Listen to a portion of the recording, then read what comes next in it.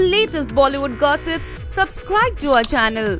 To get our videos, first hit the bell icon and get notified for every video.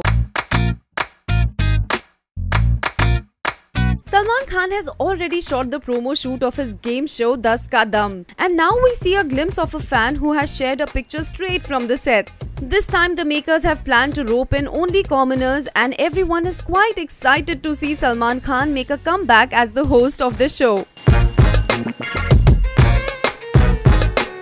The fan has added a witty caption which says, on the sets of दस कदम जीते हैं शान से Salman Khan fan के नाम से now this shows the love and affection the sultan of the entertainment world commands and we are sure that just like his earlier innings this time too he will add his own flavour to the show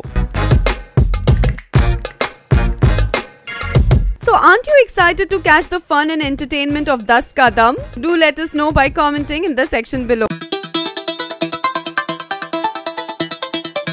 Salman Khan has already begun shooting for his next film Bharat and this week he will be flying to Leh Ladakh and Kashmir to shoot for a special song for his film Race 3. This is the last schedule of the film and the post-production work has already begun. And so we spotted Salman Khan outside a dubbing studio and we are sure that it would be for his portions in the film Race 3.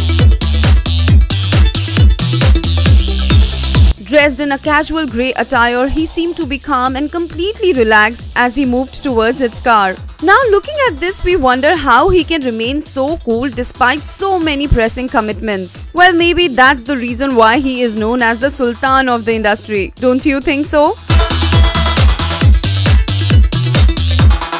So while we bring more updates from the happenings of B-Town, keep watching this space and sharing your comments with us in the section below.